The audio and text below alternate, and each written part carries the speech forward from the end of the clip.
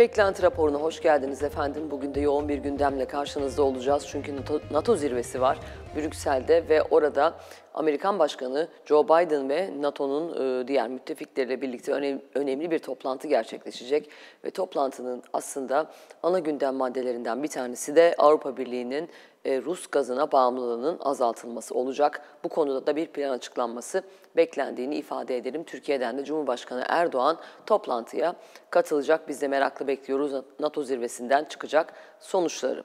Şimdi önce öne çıkan başlıklara bugün itibariyle bir bakalım. Ardından da konuğumuzla piyasalardaki gelişmeleri değerlendiriyor olacağız. Wall Street Journal'ın haberine göre Ukrayna Devlet Başkanı Vladimir Zelenski'nin Amerikan Başkanı Joe Biden'dan Rus milyarder Roman Abramovich'in Rusya ile ara buluculuk yapabilir gerekçesiyle yaptırım listesine alınmamasını istediği iddia edildi. Habere göre Zelenski, Putin'le arasında arabuluculuk yapabilme potansiyeli dolayısıyla Amerika Birleşik Devletleri'nden Abramovich'i yaptırım listesine almamasını istedi. Beyaz Saray bunun üzerine yaptırım listesini hazırlayan Hazine Bakanlığı'na ulaşarak listede Abramovich'in ve şirketlerinin yer almamasını sağladı. Konuyla ilgili olarak Beyaz Saray ve Hazine Bakanlığı'ndan herhangi bir açıklama yapılmadı. Biden, NATO ve Avrupa Birliği liderleriyle yapılacak zirvelere, zirvelere katılmak üzere Brüksel hareketinden önce Beyaz Saray'ın bahçesinde basın mensuplarının sorularını yanıtladı. Joe Biden, Rusya'nın Ukrayna'da kimyasal silah kullanma olasılığının gerçek bir tehdit olduğunu söyledi. Öte yandan Amerikan Dışişleri Bakanı Antony Blinken mevcut belgeler ışığında Amerikan yönetiminin Rus güçlerinin Ukrayna'da savaş suçları işlediği sonucuna ulaştığını açıkladı.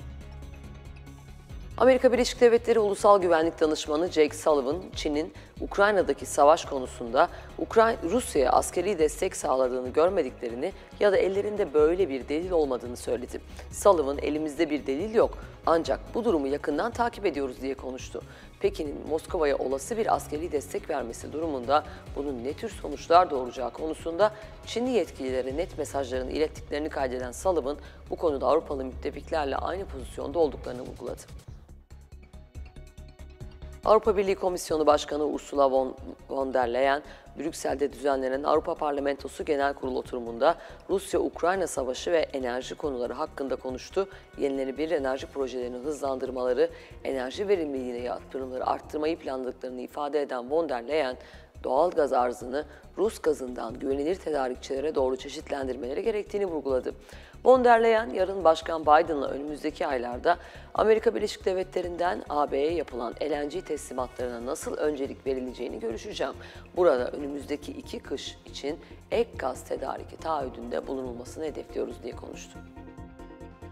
Amerikan Merkez Bankası Başkanı Jerome Powell, Merkez Bankası dijital para biriminin faydaları ve maliyetlerini incelediklerini belirterek dijital finansın mevcut yasa ve düzenlemelerde değişiklik yapılmasını gerektireceğini söyledi. Fed'in Merkez Bankası dijital para birimi konusunda henüz bir karar vermediğini belirten Powell, bir Merkez Bankası dijital para biriminin potansiyel kullanım durumlarını, faydalarını, maliyetlerini ve risklerini aktif olarak inceliyoruz dedi. Powell, Merkez Bankası dijital para biriminin bir bireyin kimliğini doğrulayabilmesi ve gizliliğini koruyabilmesi yaygın olarak kabul edilen bir ödeme şekli olması gerektiğini sözlerine ekledi. Ve şimdi de bugün öne çıkan verilerine bir bakalım. Bugün saat 11 11.30'da Almanya'dan PMI verilerini karşılayacağız. 12'de de Euro bölgesinin PMI verileri gelecek. 12.30 İngiltere PMI verilerini alıyor olacağız. 14'te Türkiye'de para politikası kurulu toplantı özeti ve de 14.30'da Türkiye yabancıların hisse ve dips işlemleri verisini alıyor olacağız. 15.30 ABD çekirdek dayanıklı mal siparişleri ve de 16.45 Amerika Birleşik Devletleri'nden üretim, bileşik ve hizmet PMI verileri gelecek. Fiyatlamalarla devam edelim.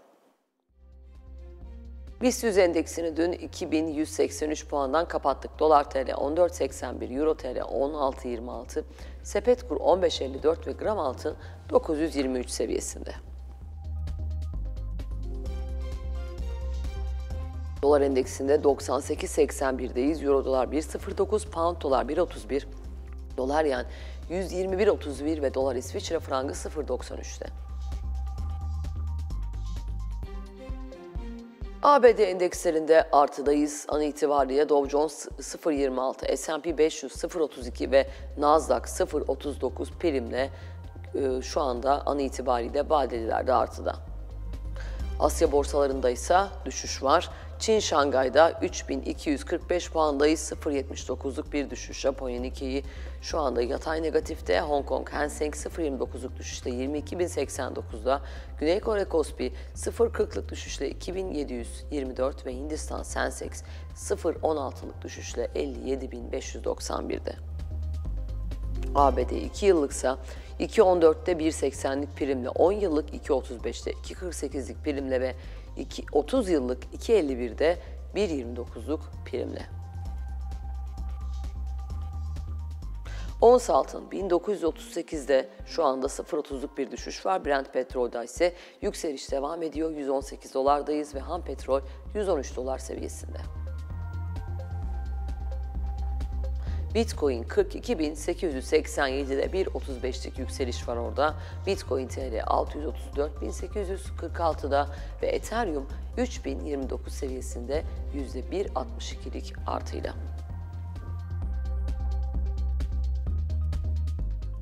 haberlerle devam ediyoruz. Ticaret Bakanı Mehmet Muş'un katıldığı İstanbul Sanayi Odası'nın Mart ayı meclis toplantısı Rusya-Ukrayna savaşı nedeniyle karşılaşılan sorunlar ana gündemiyle gerçekleşti.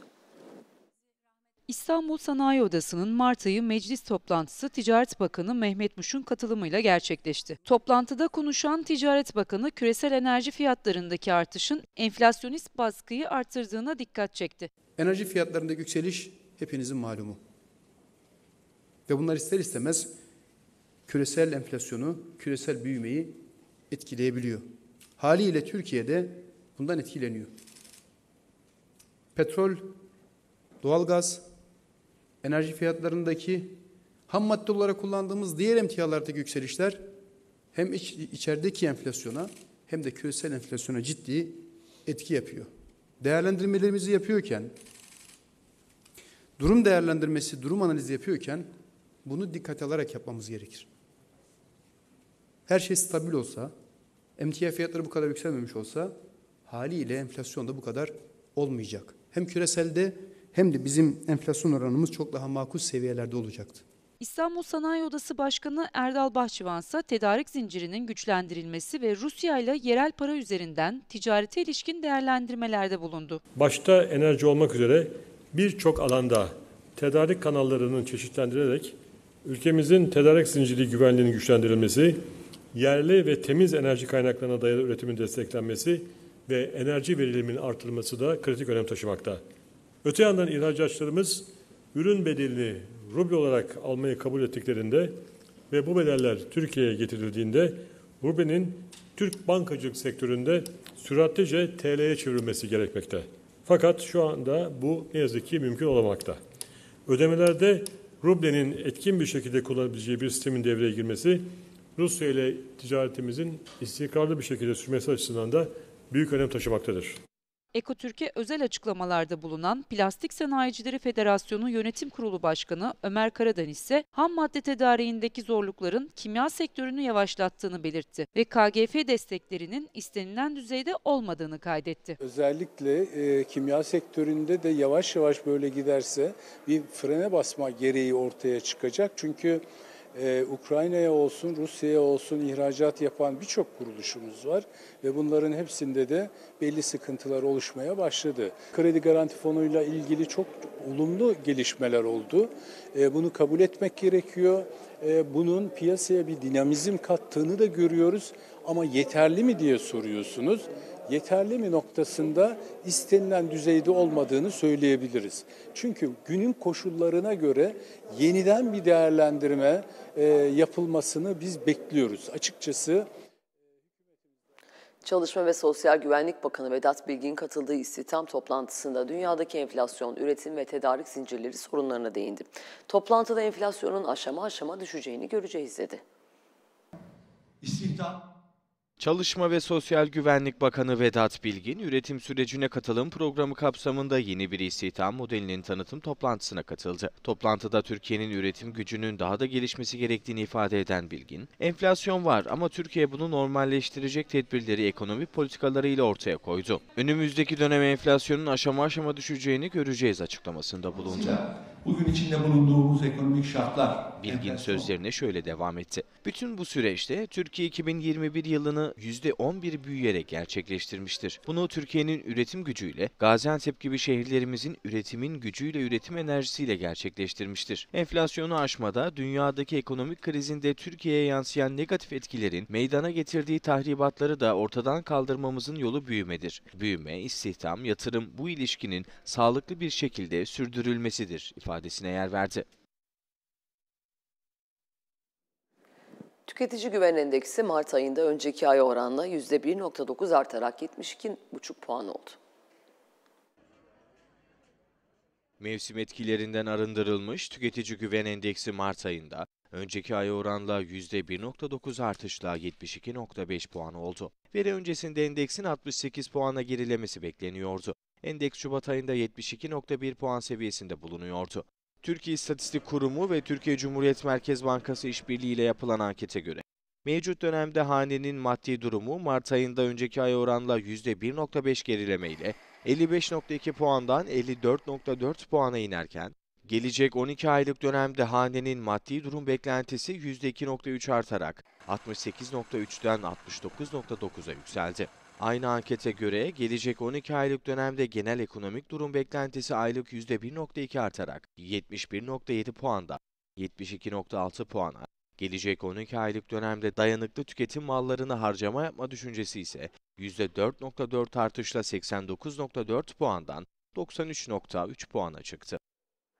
Amerika Birleşik Devletleri Rusya'ya yaptırımlarını daha da ağırlaştırıyor. Amerikan Başkanı Joe Biden'ın Avrupa temasları sırasında Rusya'ya yeni yaptırımlar açıklaması bekleniyor.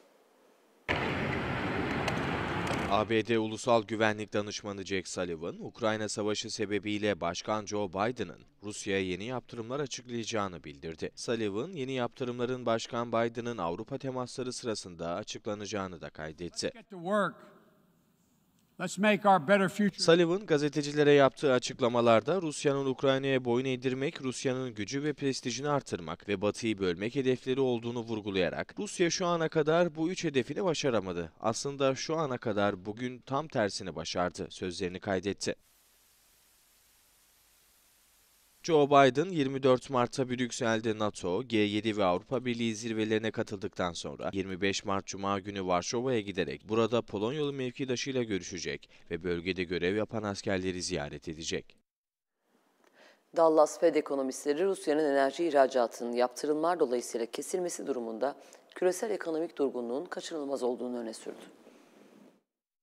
Dallas Fed ekonomistleri tarafından yapılan bir çalışma, Rusya'nın enerji ihracatının bu yıl piyasalardan çekilmesi halinde küresel ekonominin bir resesyondan kaçamayacağını ortaya koydu. Dallas Fed ekonomistleri Lutz Killian ve Michael Flint tarafından hazırlanan ve Dallas Fed tarafından yayınlanan makalede eğer yılın geri kalanında Rusya'nın enerji ihracatının büyük bölümü piyasadan çekilirse küresel bir ekonomik daralma kaçınılmaz görünüyor. Yavaşlama 1991'de olduğundan daha uzun süreli olabilir ifadeleri yer aldı. Killian ve Flint'in işaret ettikleri 1991 yılında İran, Kuveyt işgalinin yol açtığı petrol arz yokuyla küresel bir resesyon yaşanmış, Suudi Arabistan'ın üretimini arttırması bu şokun etkisini kısmen azaltmış ve resesyon bir yıldan daha sürmüştü. Ukrayna-Rusya savaşı küresel enerji krizinden sonra gıda fiyatlarını tehdit ediyor. Gıda fiyatlarında yeni zamlar kapıdayken Avrupa'da market rafları boşaldı. Ukrayna-Rusya savaşının gıda fiyatları üzerinde yarattığı büyük baskı küresel piyasaları etkilemeye başladı. Tahıl üretiminin üçte birinden fazlasını sağlayan iki ülkede yaşanan savaş nedeniyle buğday ve mısır fiyatları zirve yapmış durumda. Ek olarak diğer ürünlerde de küresel gıda fiyatlarında yaşanan zirve sonucunda Avrupalı liderler endişe yaratacak açıklamalarda bulundu. Dünya Gıda Programı Başkanı David Beasley, Ukrayna'daki mermiler ve bombalar küresel açlık krizini feci boyutlara taşıyabilir. Tedarik zincirleri ve gıda fiyatları önemli ölçüde etkilenecek açıklamasında bulundu. Orta Doğu ve Afrika'da açlık artarken artan gıda fiyatları nedeniyle Dünya Gıda Platformu'nun Yemen'deki bütçesinde oluşan açık 1 milyar dolar civarını buldu.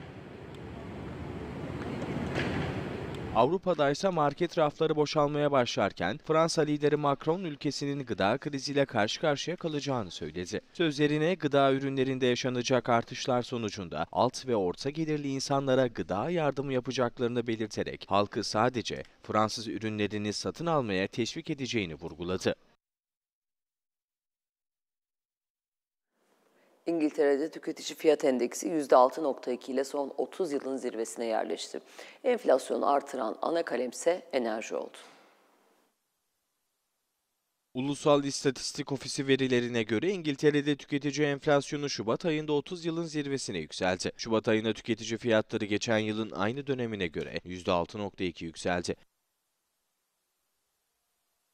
Ekonomistler ise fiyatların %5.9 artmasını bekliyorlardı. Şubat ayında enflasyonu yukarı çeken en büyük faktörler hane halkı enerji faturaları ve akaryakıt fiyatları oldu.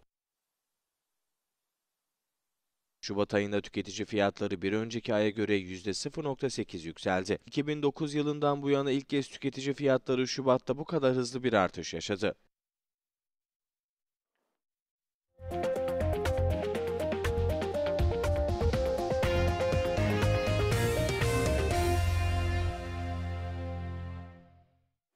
Ve karşımızda piyasalardaki gelişmeleri değerlendirmek üzere Burak Köseoğlu olacak ekonomist. Hocam hoş geldiniz yayınımıza. Günaydın. Günaydın Melis.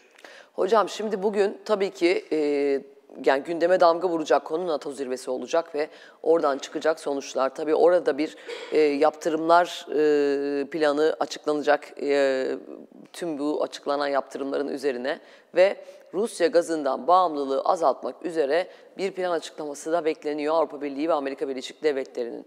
Şimdi NATO zirvesinden sizce bugün Brüksel'de başlayacak olan ki Cumhurbaşkanı Erdoğan da katılıyor. Çok fazla bir şey ummalı mıyız yoksa e, oradaki sonuçlar da çok etkilemez mi dersiniz? Genel olarak gidişatı ne dersiniz? Yani gidişatın bütününde özellikle Rusya tarafına çok ciddi etkileyecek e, ağır bir yeni yaptırımın çıkacağını ben düşünmüyorum. İçeriden sızan haberlere göre özellikle oligarklar konusunda yeni bir takım yaptırımlar var. İşte bunlar mallarına el konulan mallarının e, devlete devredilmesi, bir daha geri verilmemesi vesaire ve enerji tarafıyla ilgili de bir takım yaptırımlar olacağı söyleniyor. Dün e, Putin'in yapmış olduğu enerji ithalatında ruble kullanımı e, isteği e, aslında e, yeni bir boyut getirdi işe ve karışıklık e, bence gitgide artıyor. Görünüm gitgide bozulmaya devam ediyor. E, Batı tarafı da karşı tarafta e, G7 toplantısı ve NATO toplantılarıyla e, Rusya'yı biraz daha sıkıştırmak istiyor. Evet. Peki şimdi bu yaptırım demişken oligarklarla ilgili e, Wall Street Journal'ın bir haberi var ve ona haberde diyor ki Zelenski Abramovich'e yaptırım getirilmemesini istedi. Çünkü Rusya'ya arabuluculuk yapabilir e, Zelenski ve de e, Putin'le arabuluculuk, arabuluculuk yapma potansiyeli nedeniyle ABD'den Abramovich'i yaptırım listesine almamasını istedi şeklinde bir açıklama var. E, diğer taraftan e, ben birkaç haberi daha toplayayım size soruyu sorarken. Rusya Merkez Bankası Başkanı da e, savaşın başlangıcında istifa etmek istedi diye bir haber var. Ve e, Gazprom'dan alımları durdurması halinde de İngiltere'ye 4 milyar sterlinlik bir fatura çıkacak başlığı da öne çıkıyor an itibariyle. Şimdi oligarklar demişken tabii bu e, enteresan bir konu aslında ve hani Zelenski'nin bizzat Abramovich'in e, listeye alınmamasını istemesi de e, ilginç geldi bana. Ne dersiniz? Ee, orada büyük ihtimalle bir arabuluculuk rolü var. Belki şu anda arka planda da görüşmeler oluyor. Son dönemde zaten Abramovich e, yatını kaçır, kaçırıp Türkiye'ye getirmişti birkaç gün Evet. öncesine kadar. Ee, diğer taraftan işte özel uçağı İsrail'den Türkiye'ye geldi ve oradan Moskova'ya da devam etti gibi. Abramovich biraz daha küresel bir oyuncu pozisyonunda sanki. Dünyanın her tarafıyla e, ilişkileri daha sıcak. Aynı zamanda Rusya tarafıyla, Putin tarafıyla da daha sıcak olduğu için e, tek başına e, iyi bir aracı olabilir düşüncesi var herhalde Zelenski'nin. Zelenski onun için bence burada e, birazcık ısrarcı e, oluyor gibi. Öte taraftan doğalgaz tarafındaki İngiltere maliyetinden bahsettin.